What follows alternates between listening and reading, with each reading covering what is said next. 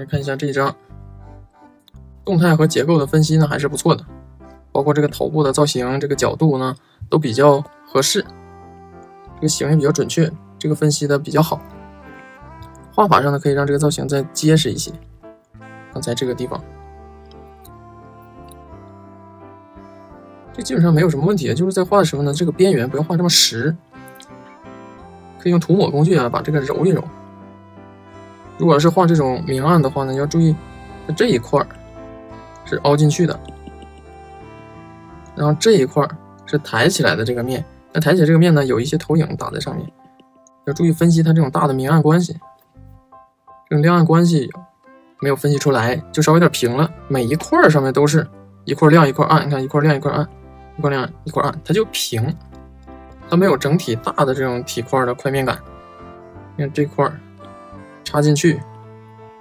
这种造型和造型的大块面，以及整体大块的嵌套这种关系，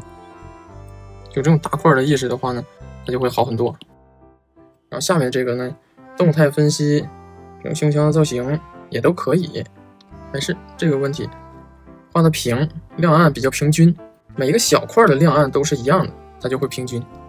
还是要看大块，在它这个身体里呢，整个这一块是亮的，然后在胸廓下缘到腹部这个位置是暗的，这里有一点微微的灰，然后这这边是暗的，就是要把这种大亮暗关系找好。然后这一张。这看上去颈部稍微的窄了一点，这个大的形啊、动态呀都没有什么太大的问题啊。两肩的落差，以及中线的角度，还有基本型的这个形状、手臂的朝向，这个都很好，没有什么问题。但是在画完整的时候要注意，这个线要强调，这里呢可以略微加深一点，而不是呢只把外轮廓这一圈够重，里边全都浅，这样的话整体的关系也不合适。那这根线就可以给它强调出来，颈部后边的这条线的趋势不够合适，这样倾斜就不够合适。看我把这边的压下来，这个体积的感觉就很好了。那，像有一些比较符合模特特征的这个地方，就不要画太概念啊，不要给它画成两个直的。这个位置，肩三角肌后束，这里是鼓的。要贴合一些模特的特征。看下面的这个颈部呢，虽然被挡遮挡住了，被手挡住了，但它的宽度呢还是可以猜测出来的，啊，这样看着比较合适。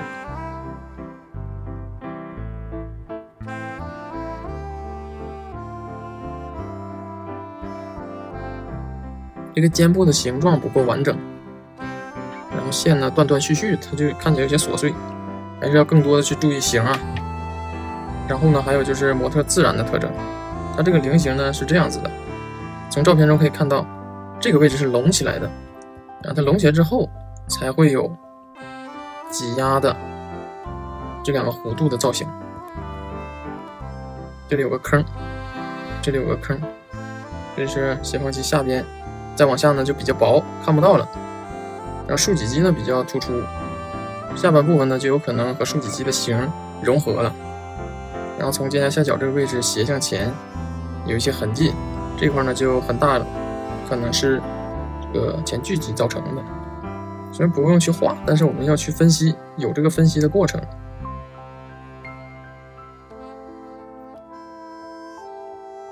要注意冈下肌、小圆肌和大圆肌它们的形状。